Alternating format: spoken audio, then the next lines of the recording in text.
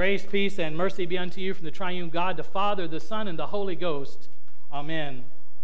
The text for this morning's message comes from our gospel reading, Matthew chapter 4, and uh, where Jesus refers back to the Old Testament reading from Isaiah.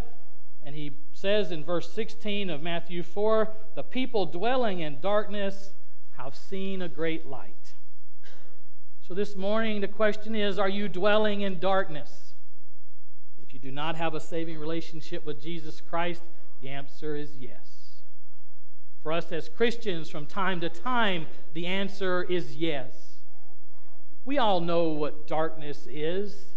If you've ever been into some of the caves where they give tours, and I did as a kid, I haven't been in a long time, but I remember in, in several of the caves we went into, it was always a thing. They would take us down to the deepest part where there was no uh, uh natural light, only artificial light. They would gather us all around the guide and they would shut off the lights. My mom would scream, along with some other people, and then they would explain how this is total darkness. And it is. You can't see anything uh, unless somebody's wearing something reflective. You can't see anything around you. You can't see your hand in front of your face. It is total darkness. And then they would turn the lights back on. Everybody's eyes would dilate or dilate or de-dilate, whatever it is they do, we'd all stumble around for a while. But as Christians, we are born into this world in sin, separated from God. And what that means is we are born in total darkness. We are in spiritual darkness. We can't see what we need to see. We can't go where we need to go, and we can't do the things we need to do because the light has been blocked out. Total darkness then a great thing happens. Someone shares the gospel with us, and that great light comes upon us. We are bathed in the light of Jesus Christ, the light of the world. That's why we have candles and other lights in our churches and in our services to represent Christ, the eternal light of the world, a light that cannot be extinguished. In other parts of the scripture, it talks about this great light has come into the darkness, and the darkness cannot overcome it. The sin, Satan, and death cannot overcome the light of the world, Jesus Christ. So this morning, little Malia May Brayton was brought to us in darkness, and now Christ has, has bathed her, continues to bathe her in his great light. He shines his light upon her and all of us who believe. And it's not just so we can stand still and stand in the light.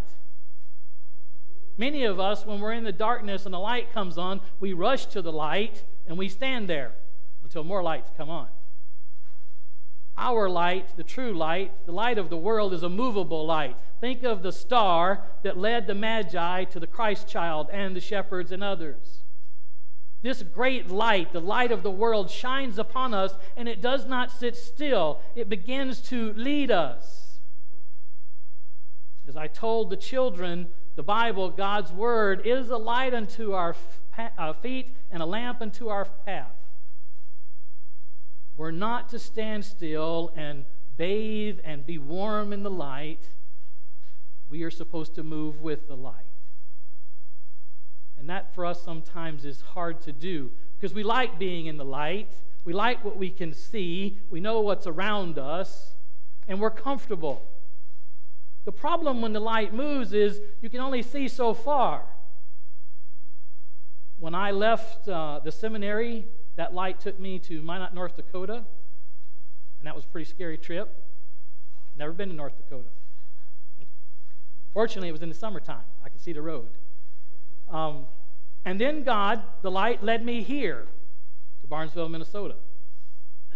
With just enough light to see ahead to make the trip, and not a whole lot of light beyond that.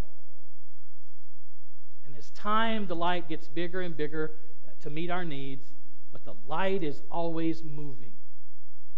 The light is always moving. Malia will grow up, as we all do. She'll finish school, hopefully. She may go to college or may not. She may leave home, maybe not right away. But it will happen. The light will lead her somewhere and she will go. Prayerfully, we pray for all of the saints that as the light leads them, we will follow that light.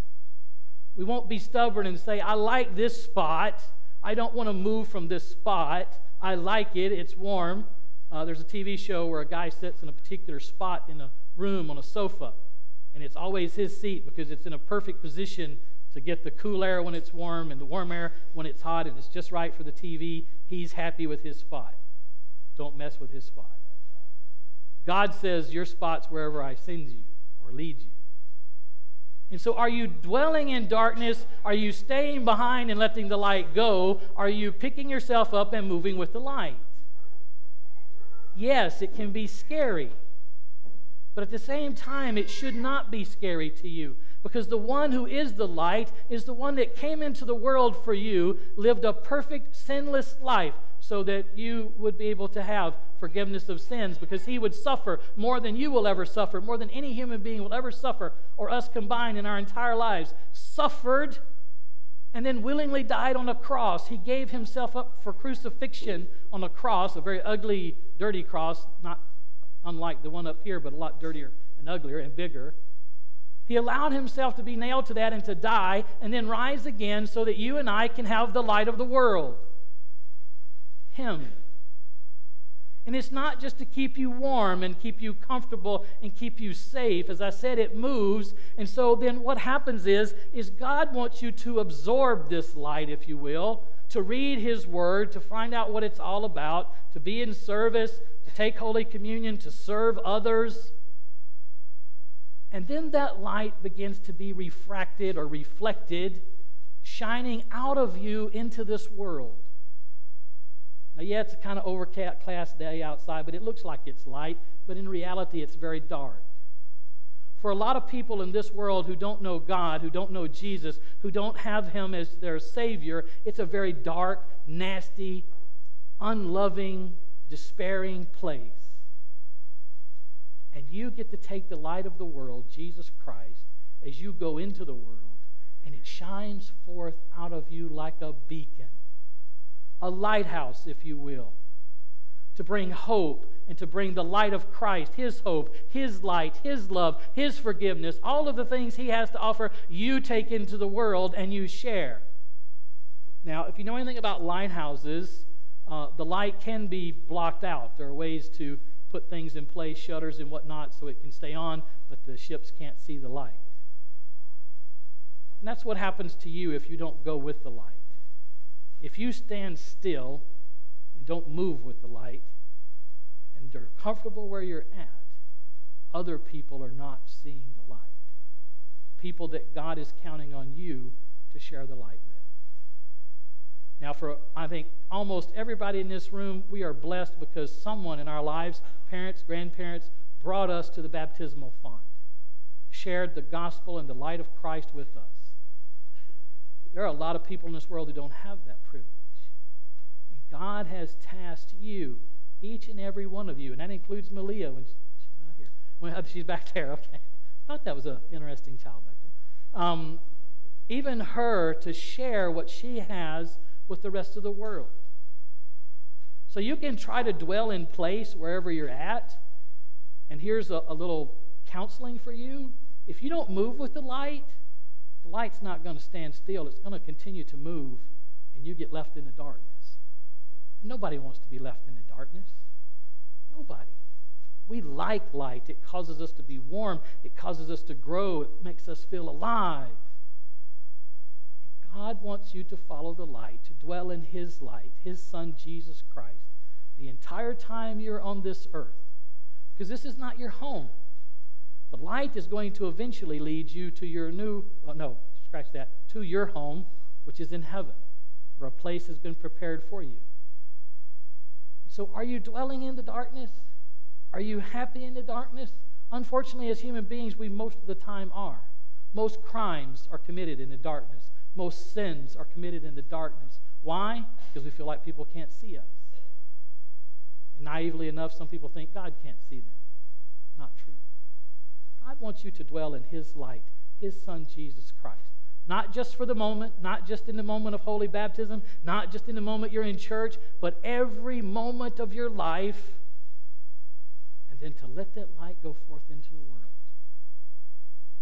What a beautiful sight it would be if just a fraction of Christians did that every day. What a changed world this would be. Think about the news headlines. They would start to change. We wouldn't be so fixated on protesters and all these other things that go on. We'd be fixated on this change that has happened in, it happened in the book of Acts. The Christians turned the world upside down.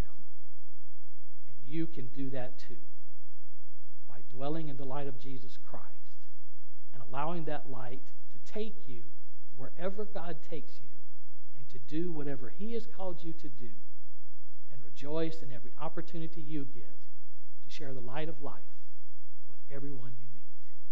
Go in His peace. Amen. Now may the peace of God, which surpasses all human understanding, guard your hearts and your minds through your faith in our Lord and Savior, Jesus Christ.